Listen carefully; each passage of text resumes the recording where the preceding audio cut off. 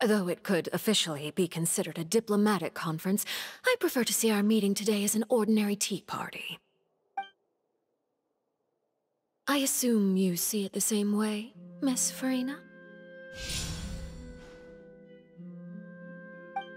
Hmm. Lady Furina? Yes, yes, that's right. Just like you said, a tea party. I should thank you for providing the pastries. They look delectable. To make this tea party even more lively, I've invited someone else to join us today.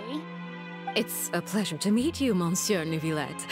I was born in Fontaine, so naturally, there's no need to introduce the nation's revered Iudex to me. Hello. The pleasure is also mine. First, I would like to thank the two of you. I'm often away on business outside of Fontaine, and I'm told that the children of the House of the Hearth have been well taken care of by you. Uh... Oh, I'm not referring to when my children, Lyney and Lynette, were falsely accused by you. Please don't misunderstand. The children of the House of the Hearth are often misunderstood, perhaps due to the reputation of the Fatui. There's no getting around that. All I meant to say is that Fontaine has been stable in recent years. The people are well off and the children lead happy, fulfilled lives. That is something truly worth cherishing, and no one wishes to disrupt such peace. Now then, you have come regarding the matter of Childe, correct? Well, yes. It appears the ever-busy Iudex Neuvillette doesn't wish to waste time with diplomatic pleasantries, and hopes that we can get straight to the point of our talk.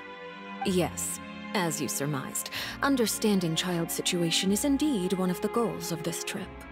As we are both diplomats from Snezhnaya as well as Fatui Harbingers, Childe and I have always been colleagues. Were anything to happen in Fontaine, each of us would serve as the other's attorney to resolve the issue. So now, in my capacity as his attorney, I request that Childe be turned over to Snezhnaya. We have a responsibility to cooperate with Fontaine and resolve what has happened to him together. The rules governing attorneys only apply before a trial has concluded. Since a verdict has already been rendered, we see the case as settled. I apologize for being unable to grant your request. An outright refusal. Very well. I respect all the rules of Fontaine's courts, just as I respect you as Chief Justice. Okay, why don't we back up a step? You don't need to transfer Childe to us. I only request to enter the Fortress of Meropide to see Childe and confirm his condition.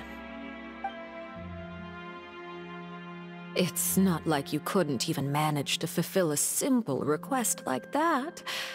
Right, Miss Furina? Uh, um, about that. The Fortress of Meropide has always been completely autonomous. Even we have no authority to interfere there, and diplomatic issues do not suffice as an excuse. However, if you absolutely must confirm the situation of the Harbinger, I have a proposal